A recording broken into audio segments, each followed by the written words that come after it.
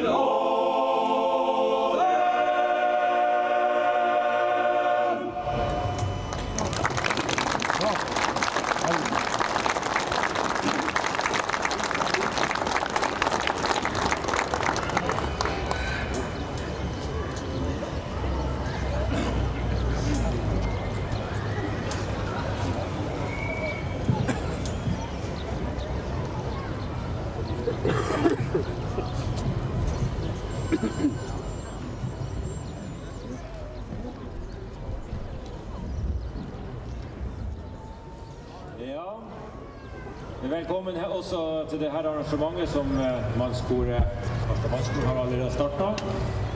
Grunnen til at jeg tar ordet nå, er at vi får en salutt. Det er søndag, og da er salutteringa klokka 1300 fra Trondenes. Og jeg ser at bilen står litt denne veien. Og eh, det er ett minutt igjen på ni klokka, Det skal være koordinert, så vi venter det minuttet, og så blir det all tystnad. Så hører, om vi hører fra 21 sekunder. Så vi venter litt, og etter det så skal vi ta, få ta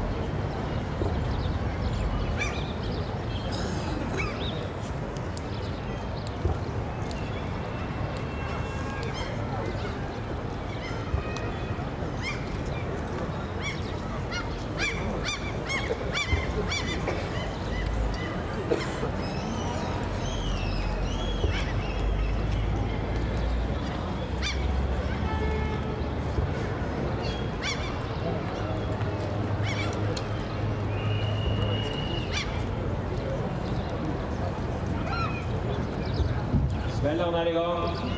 Hør etter.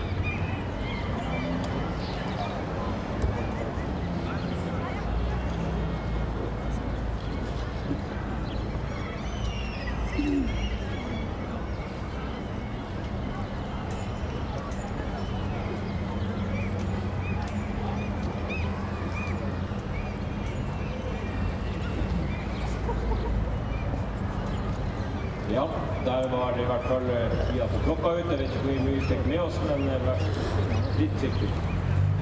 Vær så god.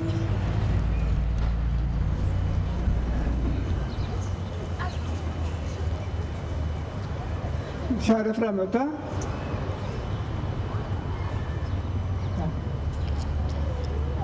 Gratulerer med dagen, og velkommen til denne blomsternedleggelse ved Fleischers monument, som ble avduket her den 20. juli i 1950. General Fleisers navn er først og fremst knyttet til hans innsats under felttoget i Nord-Norge. Han ledet de norske styrkene under felttoget på en utmerket måte. Mobilisering var iverksatt i Nord-Norge før regjeringens ordre om mobilisering kom. Det var faktisk mobilisert omtrent like mange avdelinger i Nord-Norge som i hele landet for øvrig. Det var en beslutning som var preget av fasthet og mot. General Fleiser ble den første allierte general som beseiret tyske styrker under andre verdenskrig. Og betydningen av denne seier var stor. Legenden om tysk uovervinnelighet ble brutt. Fleiser ble også den første norske general på 150 år som førte vellykkede angrepsoperasjoner over noen tid og han var den eneste norske general som under krigen fikk ry som feltherre. Han var en fremragende militær leder. Denne bauta, som vi har mange av i vårt land, synliggjør en viktig del av vår historie. Det minner oss om mot og om motstand når det er krevet. General Fleisa var også den første som fikk tildelt Krigskorset med sverd. Norges høyeste dekorasjon for aktivitet i krig. Og han fikk også både gater og veier oppkalt etter seg. Ved denne anledning så syns jeg det er viktig å minne om alle de som ga sitt liv for Norge. Kamper som ble ledet av general Fleischer under kampene ved Narvik og kampene i Nord-Norge for øvrig.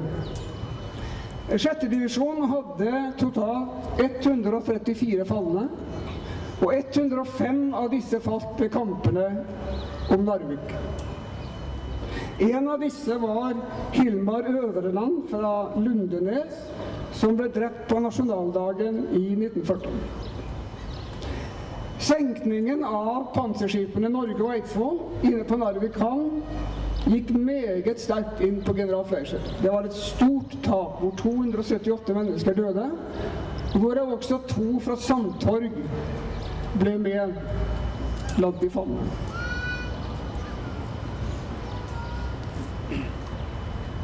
En kan ikke mer gi.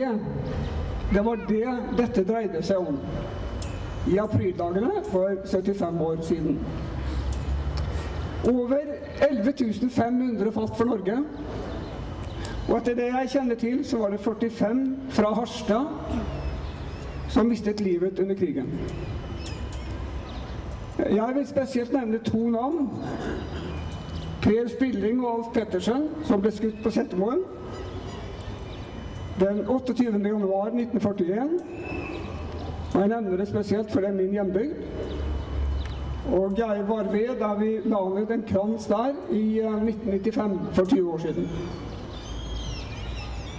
I dag er det svært få som er tilbake og kan vitne om krigsopplevelsene. Som har preget mange menneskers liv, og derved også deres families liv. Uten at så mye ble sagt opp gjennom årene. Fred, frihet, selvstendighet og demokrati er ikke noe vi kan ta for gitt.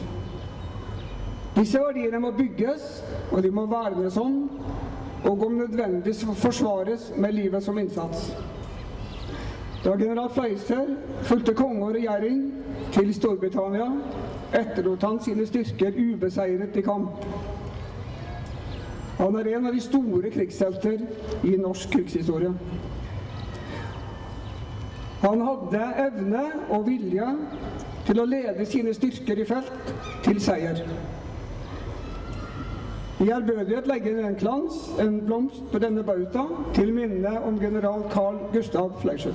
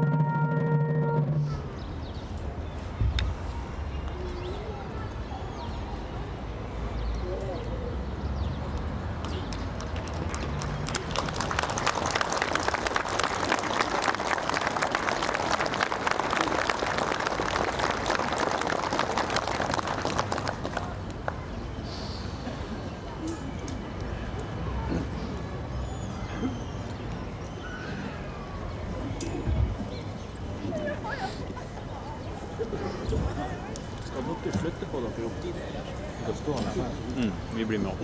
Det er flott å se at så mange har tatt seg tid til å møte frem. Det er en stor ære og glede for meg å gratulere dere med dagen. Og ønske dere hjertelig velkommen til markeringen her ved minnesteinen i Generalhagen. For noen få dager siden, nærmere bestemt 8. mai, var vi også samlet her for å markere at det var 70 år siden krigen sluttet, og Norge igjen var et fritt og selvstendig land. Fem års undertrykkelse var over. Kanskje er det noen av dere som står her i dag, som opplevde den dagen. Det må ha vært en helt utrolig opplevelse. Krigen hadde en pris utenom alt det materielle.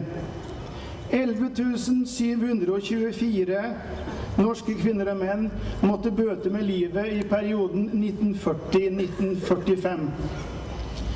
70 år har vi hatt fred i Norge.